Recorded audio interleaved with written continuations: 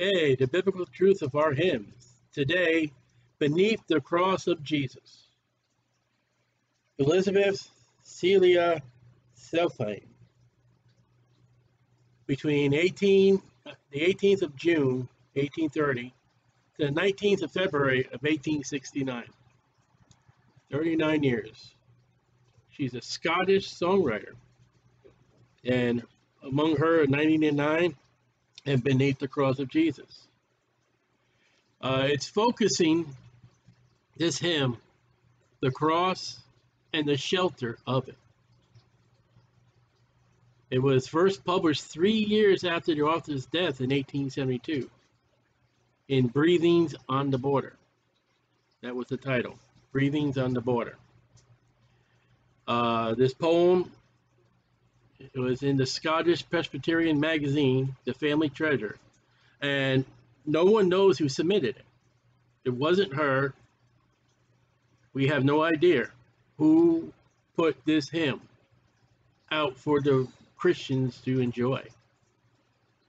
And it was not the writer, I mean, anonymous.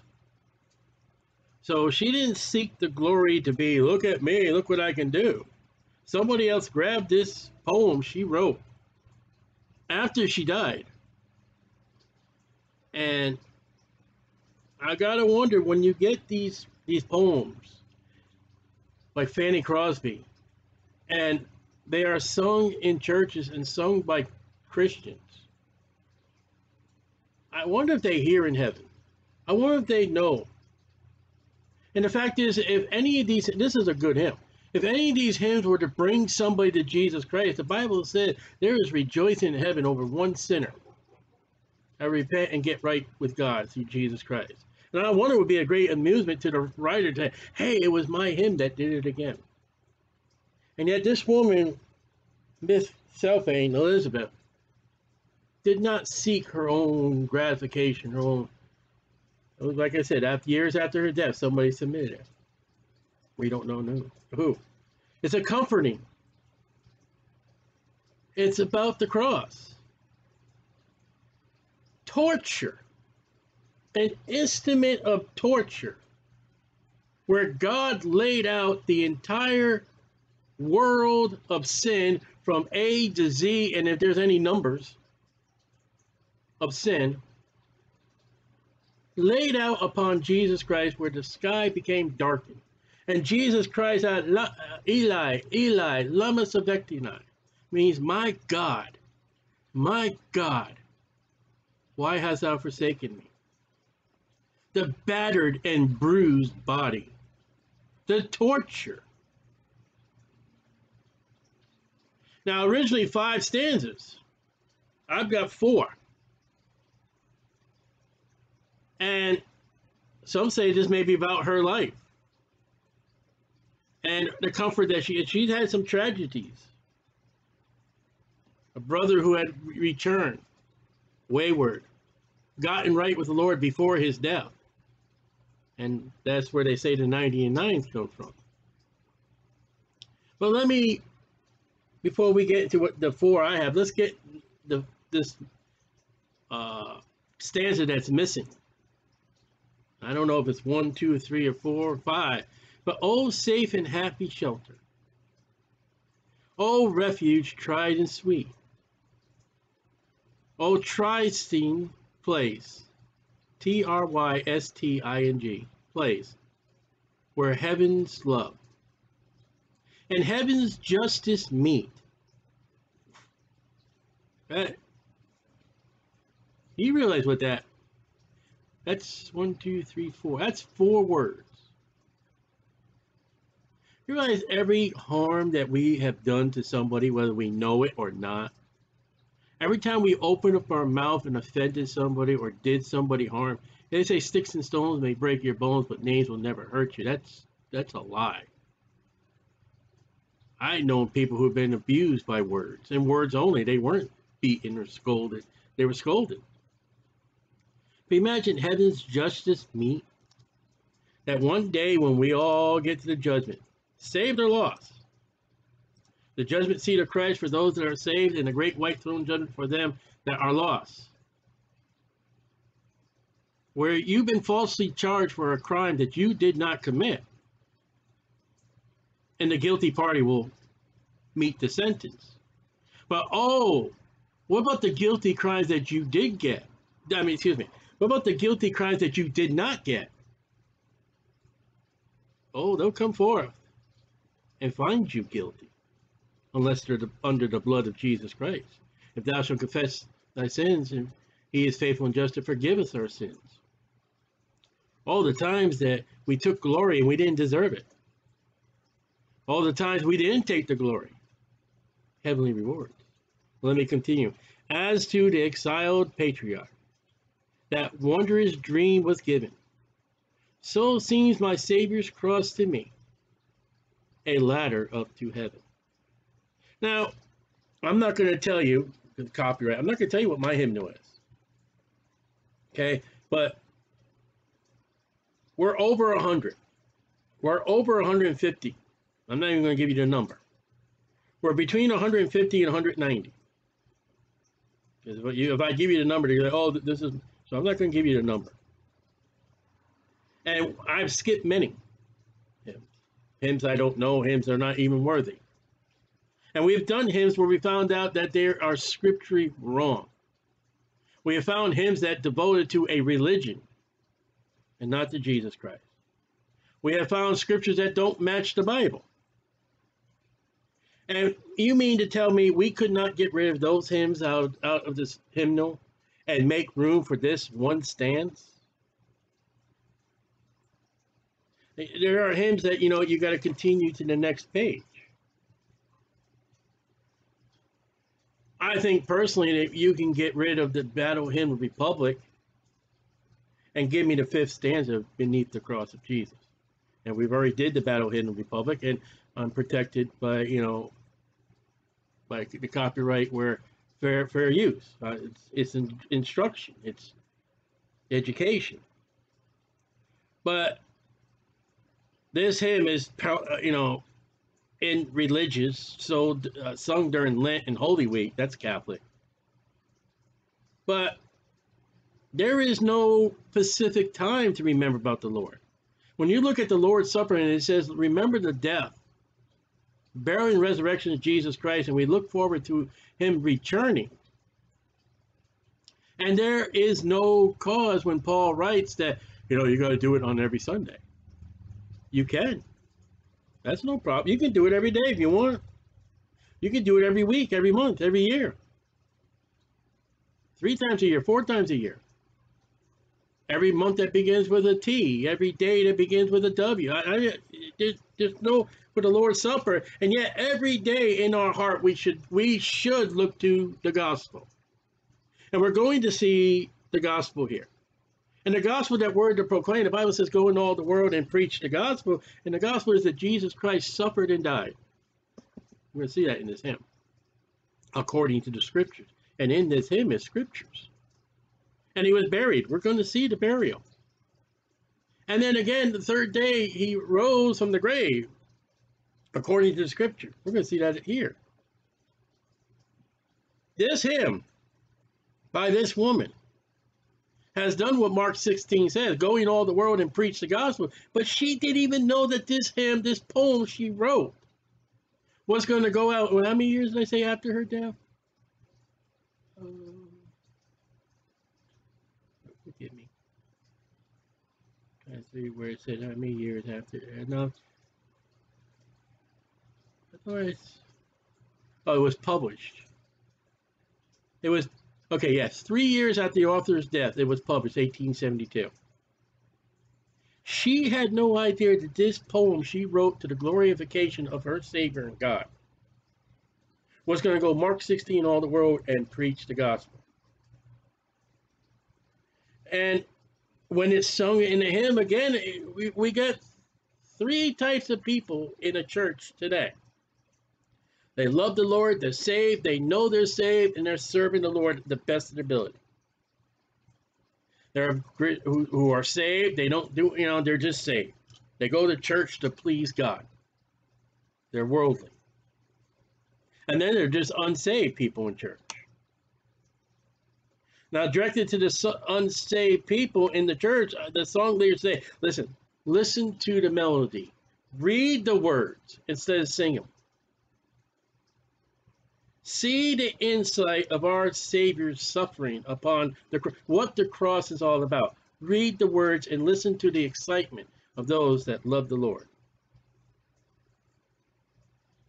Now remember, this hymn is written for a individual by a poem.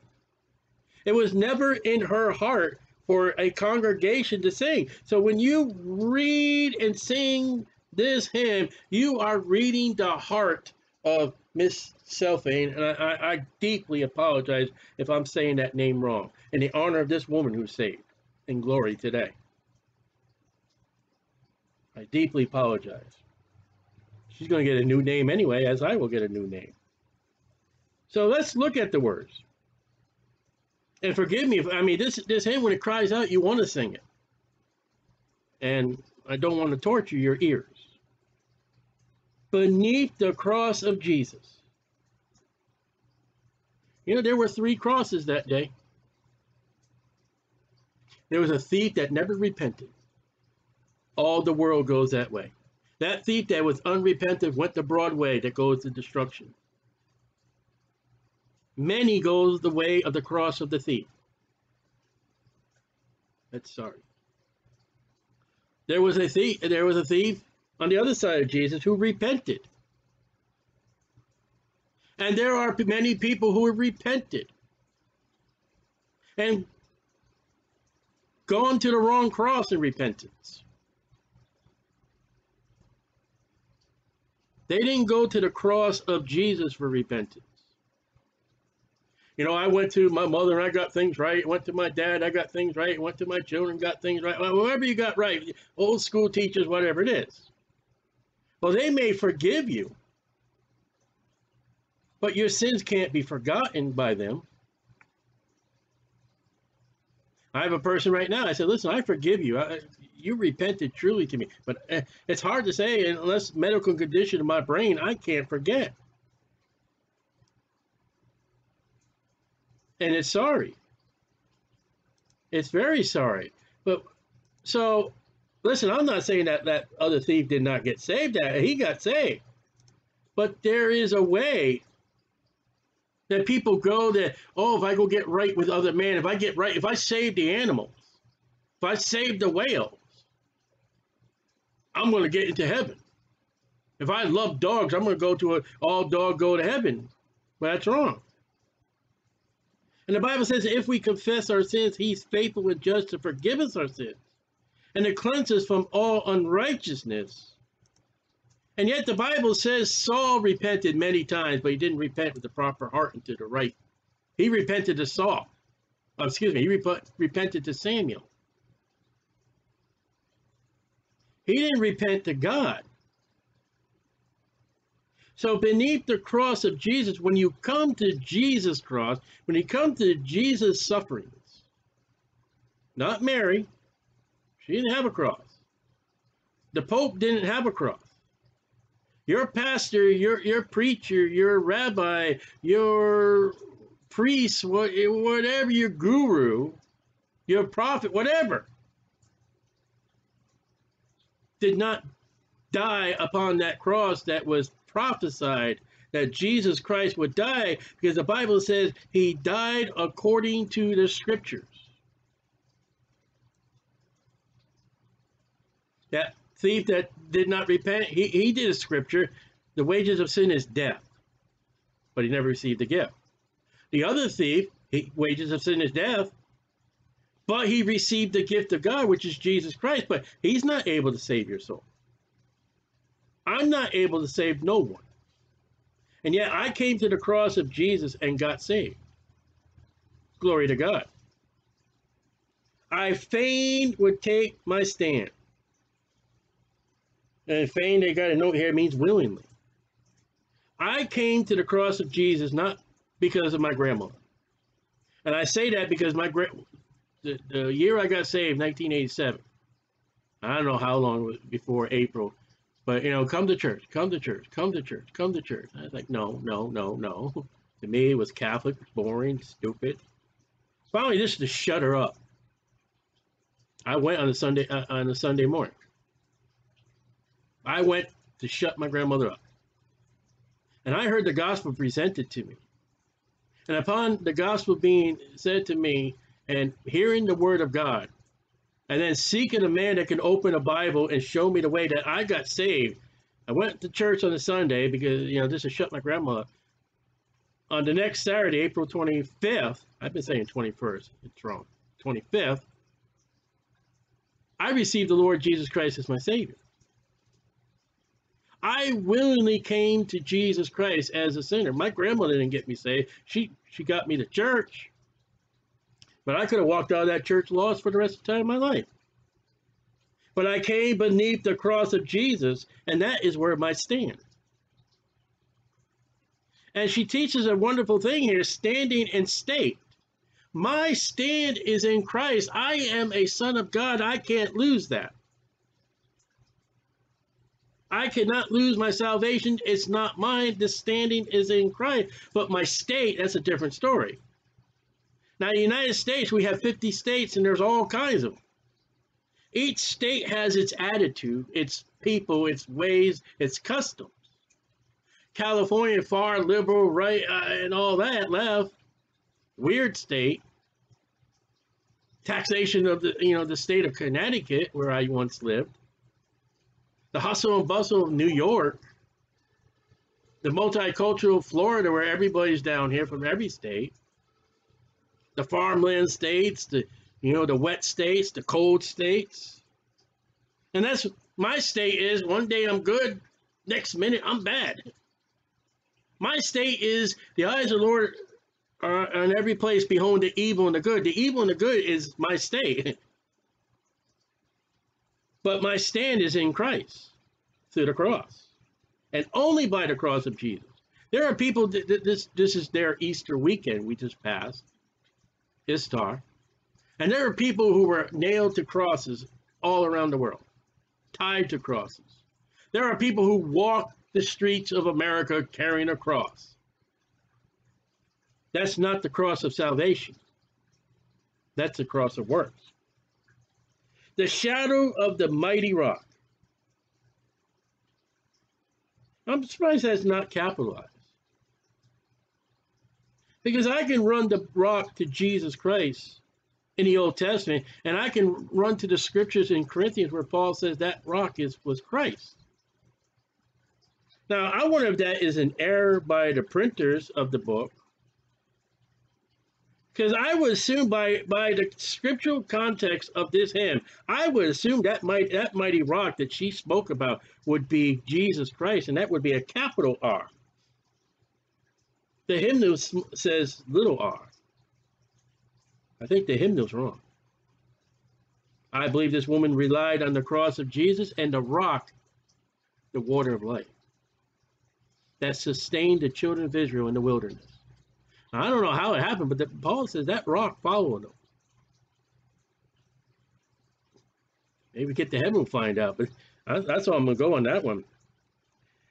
The mighty rock in a weary land. Oh, life is wonderful. I read the bumper stickers. Life is good, I see in the back of the spare tires of Jeeps. Imagine putting life is good on the spare tire. Uh, I think, is life really good? It's raining in the middle of the night and you got a flat tire, you got to change that thing? I mean, is it really good? I'm going through right now. My wife's in the hospital right now. Went in for a dog bite to find out, you know, with previous medical issues she's had before in medicine. She's got a bad heart, bad lungs, and bad kidneys. They're doing tests right now. So where will land? I've had a wife die in my arms for breast cancer. I have been diagnosed with uh, diabetes and my fault. Right now I'm up to because my family had diabetes. And I got neuropathy. My feet are going numb.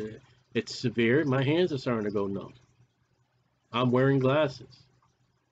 I'm achy. I'm sore. Previous injuries in my lifetime are coming up to me. I got bills that are not paid yet. I mean, as far as Uh, the utility bills are paid, but you know, they're. I had to get a a a mechanic credit card, you know, for the car to be fixed. That's not paid off. I got a couple of credit cards because of sin and pleasure. They're not paid off. I got other bills that come up, got medical bills. I get up, I don't feel good sometimes. I feel sick. I'm throwing up, cough. I haven't felt well. Been in the hospital myself many times. Surgeries. Been over. I've been on both sides of the hospital. Been both of them are not pleasant at all. I've gotten up. We've got we got several ministries our family takes part. And I've gotten up just tired as anything. Oh Lord God, give me strength. I've gotten up days. Let's go. Let's go. Ready to go. With our ministries, had people hate us. Had people love us. I've had the police called on me. and I have to deal with the police several times. I've had several times where they've gotten in my face and gotten my wife's face and gotten my daughter's face. My son's going through times right now. It's a weary land. A home within the wilderness. Wilderness, wilderness produces nothing.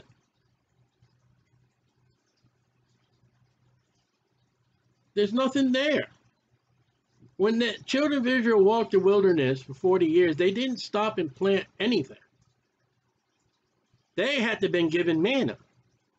Wilderness produces no fruit. And yet every time in our life, we got to have our wilderness as much as our mountaintops. Wilderness can be valleys. Valleys can be even lower than wilderness. This woman is not only speaking about Christ on the cross and our salvation in the gospel, she's speaking about the Christian life as a saved woman. And she says, it's not all wonderful. You could not sell this woman a prosperity gospel as you'll find on radio and television and media bookstore ministries and YouTube ministries out there too. Listen, I make sure when I preach the gospel public, I, I, there's times I say, listen, if you get saved, it's not going to heal your cancer. It's not going to give you good health. Now, when we die and go to glory, Revelation 20, 21, and 22, we'll get a brand new body. They'll never, you know, have tears, no more sorrows, no more death, no more sin. But getting saved does not end sin. Getting saved does not end, it may, maybe miraculously God will take care of things. Maybe, maybe not. I still have sins that I've done since before I was saved, and I'm bug, I'm bugging out on them. And I've had sins like smoking where it took me a few years, but I quit it. It took me a few years, but I stopped drinking to the glory of God. But oh, how weary. A home in the wilderness, a rest upon the way. That's Pilgrim. He's going up and he comes to that pavilion. And it's a wonderful place. It's an orchard. It's nice. It smells good. It's peaceful. It was so peaceful, he lay down and slept and lost his evidence. And he got forward, And he had to come back and find it and lost time. And got to the college or the cottage or the inn or the house at late night.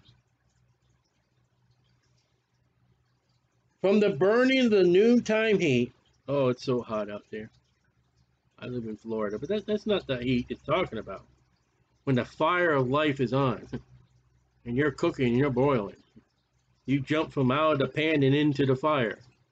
Problems, situations, troubles, and the burden of the day. Now, what is that? What is the troubles? What is the weariness? What is the, the wilderness? Get beneath the cross of Jesus. You know, there's only one disciple that was below, beneath the cross of Jesus. That was John. John has given us the Gospel of John, a wonderful Gospel of all four. John has given the first, second, third John. He's given us a magnificent book, which is overly loved, is the book of Revelation. He was the beloved apostle. And he's the one that got under the blood, under the cross. And he, I mean, he was boiled in oil and put in the island Patmos. But he's the only apostle of the 12, Paul, that did not suffer a tragic death. Even including Judy went and hung himself and body ripped open. In life's troubles and problems, I what I say is go back to Bethel, where Jacob met the Lord, came up the Lord. Go back to where you're saying, and you don't have to do it physically. Right now, my Bethel's gone. Within a few months or years, I don't know what's going to happen to the place where I got saved.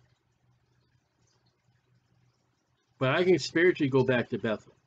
I can go back to that cross where Jesus Christ and I met. And where I received Christ as my Savior. Where that Lamb of God became my gift of God.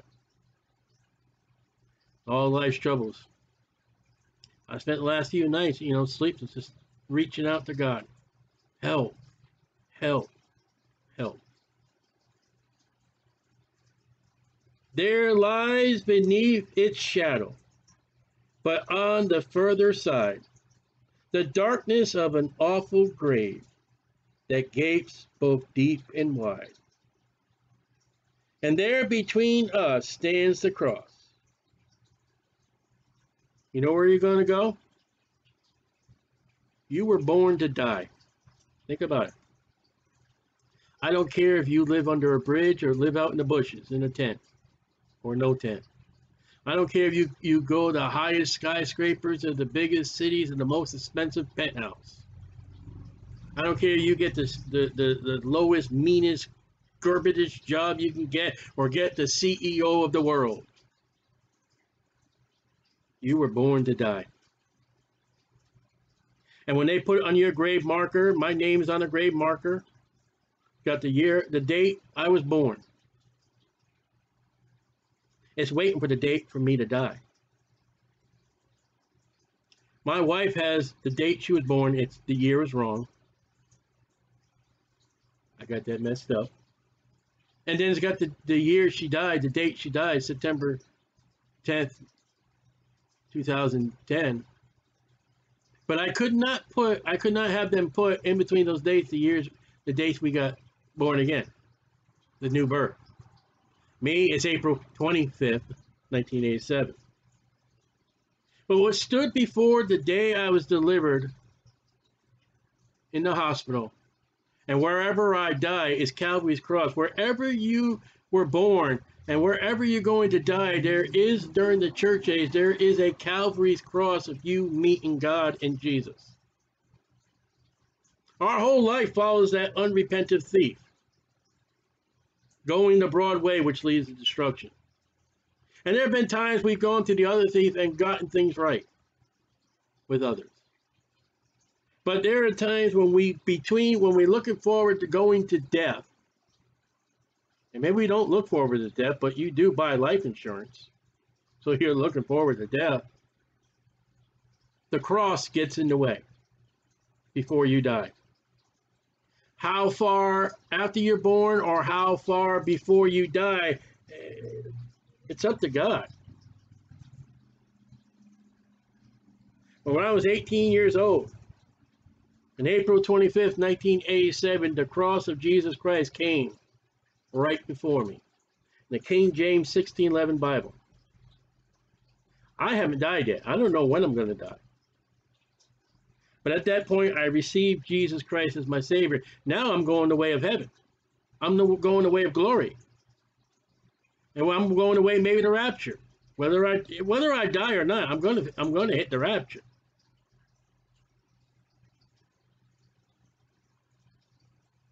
And those who come to the cross of, of Christ and go the other way reject Jesus Christ and the gospel that he suffered and died according to Scripture. Will go the way of, of destruction and follow that unrepentant thief into hell. Two arms outstretched to save. That's Jesus. He was nailed one arm, and he laid his arms, his, his hands down. He had them. He allowed them to nail his hands to that cross. He didn't fight. He didn't call for a lawyer. He willingly laid his life down to be that Lamb of God which take away the sin of the world.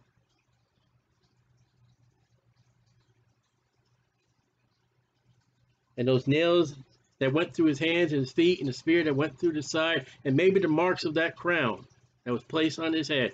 Maybe those marks are still there in his body. They're still there. And they're going to be there for all eternity. He's willing and wanting to save you. God's not willing that any should perish, but all. All. He wants all. But he's a holy and righteous God. He can't have all.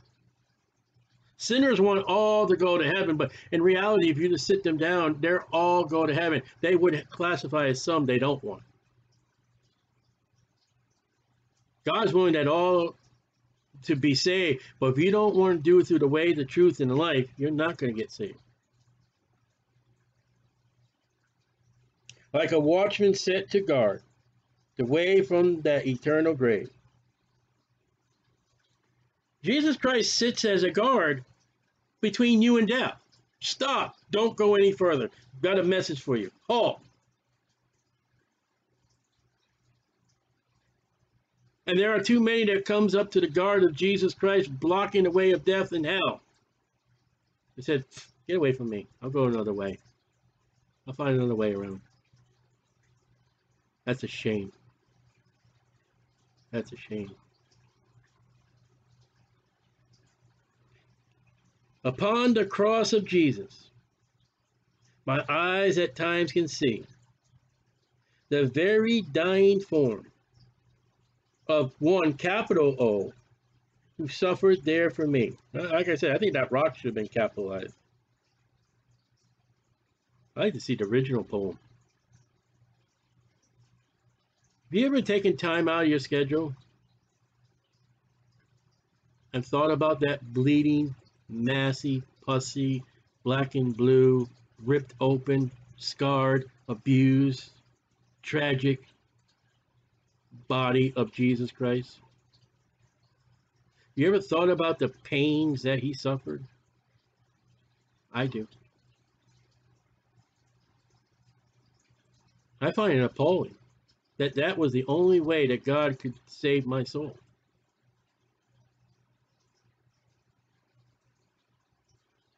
The cat of nine tails, the pulling of his beard, the smashing of their fists against his face, the crown of thorns, the nails.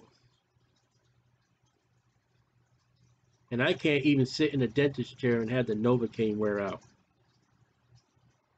And he's pulling a tube and I grab his face. And I'm ready to take him down to the ground. You pull my beard, you're not going to get a good reaction. I've had it pulled by accident. Even I've done it with a, with a comb or something. You've got to get back to what Christ suffered for you and get off what our suffering. Now, she started saying, you know, this weary land, but look at what Christ went through. Where were them that Jesus fed at the cross? Where was them that had leper and leprosy and doesn't have leprosy no more? Where were the ones that were unable to move a body part, appendage, and now able to move? Did the blind that now receive sight saw Christ on the cross? The ones that were deaf, did they hear the Eli, Eli, lama sabachthani? It says Jesus' mother and Mary Magdalene and the other Mary and the other women were there. It said John was there. Peter got so angry and, and repentful, he left. Judas remorse went and hung himself. But Christian, when we take part of the Lord's Supper, and that's the sin of the Mass because the Mass doesn't think about the death, burial, resurrection, and the coming of the Lord Jesus Christ. That Lord's Supper is making us think about the tragic results that Christ had to suffer for our sins, and He's coming back. And when He's coming back, those scars are not gone. They're still there. And from my stricken heart with tears. Ever had ever been heartbroken? You ever been in tears because what Christ has done for you? Has ever broken your heart? It broke his. Two wonders I confess. The wonders of the redeeming love. That's one. Christ redeemed us. And the price was God's blood, Acts 20, 28. The price was suffering and dying on that cross. Satan is so cruel, he says, okay, you want to buy them back from me? You better suffer and you better die and you better come out of that grave. That's the only way I'm going to release them. And you better beat the crap out of Jesus while you're doing it. You may not like that, but that's what they did. It's a wonder that God redeemed me because I'm not faithful to him on this side of Calvary. In thoughts and in actions. I'm a miserable sinner. And like she goes next, the second one, my unworthiness. I deserve hell even today. I deserve it. Christ should have just stayed on the throne and just have the angels and cherubims and worship him and God forever. No, he came down. He suffered and died for me. You better take time to reflect back to that day. The day you got saved and the day he was crucified. I take, O cross, thy shadow for my abiding place. I ask no other sunshine than the sunshine of his face. Oh, let me win the lottery. Let me get married. Let me be the president of this company. Lord, let me have a new car. Let me have a good house. Lord, let me have, let me have, let me have. Our, pr our prayers, give me, give me, give me, give me. You know what her prayer was? She wanted to see Jesus' face. She did. When she died, she became absent from the body and present with the Lord. I can't even fathom what that's going to be like. I can't fathom two things. If a Christian dies before the rapture, what is going to be like from where he died and there he's looking at Christ? Or what about the rapture? Here you are, you're walking, you're riding a car, somewhere where you're going, and the next thing you're in the clouds with all savers, no lost people. And then the next step, you see Jesus. It's going to be remarkable.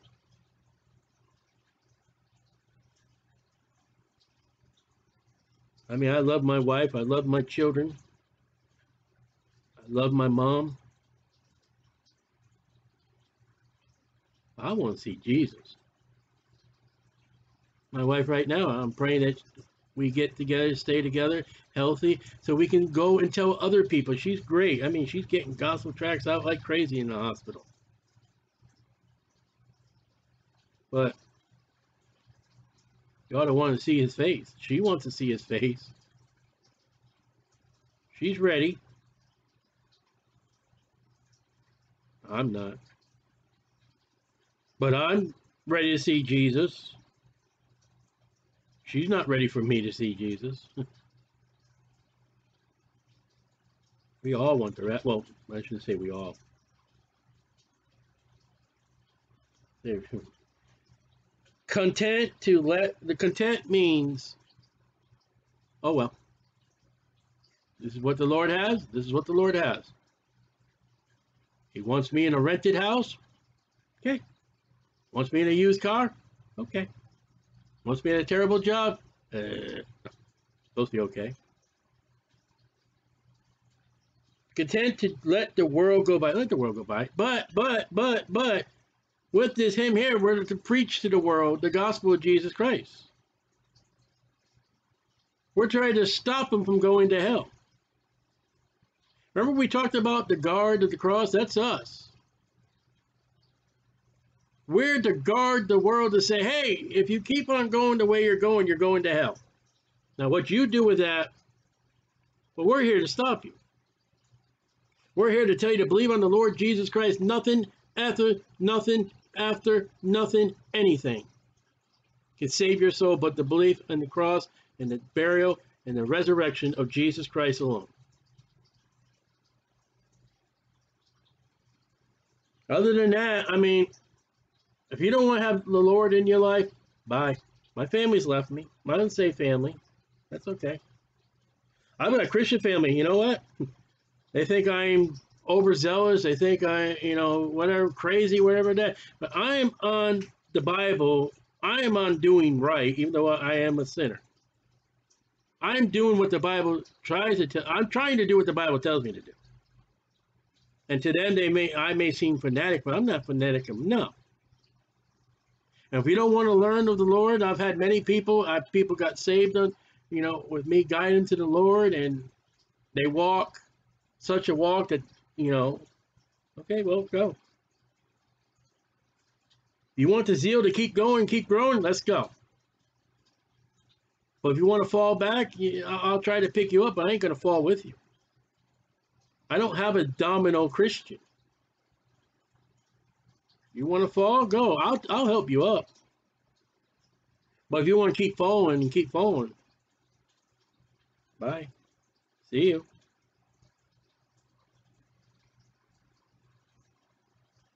To know no gain or loss. You follow Christ, there is no loss. There's gain. In the world, there's gain and loss. As you stab someone's back to get where you want to go, somebody's going to stab your back to get where they want to be.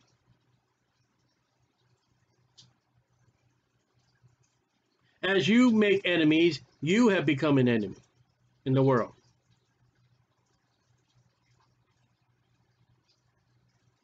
You may be happy to reach where you've reached.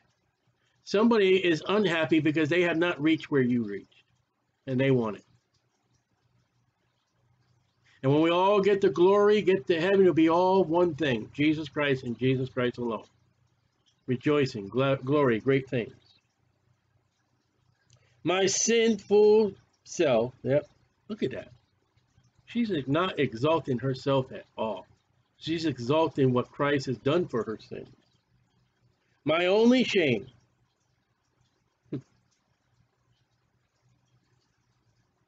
Miss Selfane, again, if I pronounce her name wrong, I, I deeply apologize.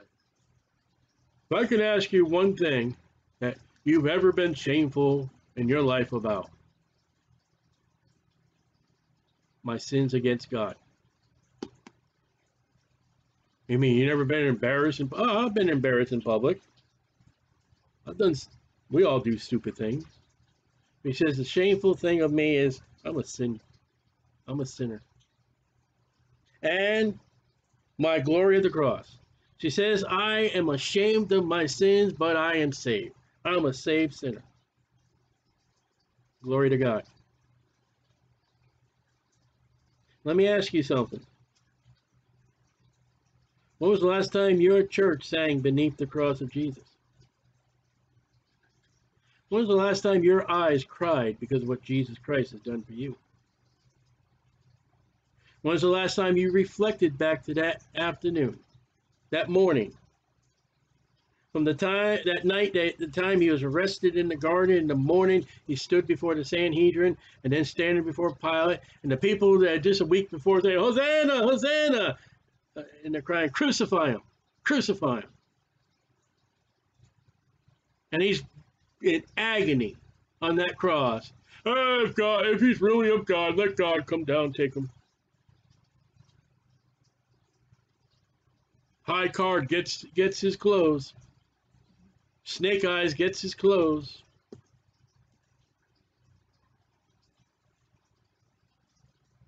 Give him some vinegar instead of water. Have you forgotten about Calvary? Get back there. I'm not saying, do not say I'm saying get saved again. I am not saying that. Once saved, always saved. But have you gotten back to where Christ suffered and died for you? Have you reflected on that morning, that afternoon, that night that you received Christ? See, when we sin, when I sin, that moment I sin is I've taken my eyes off Jesus and put my put myself or the world on target. You see, if we kept, if I kept my eyes on Jesus all the time, I would not sin. I'm not going to sin in glory. Why? My eyes are always on him. There's no more world.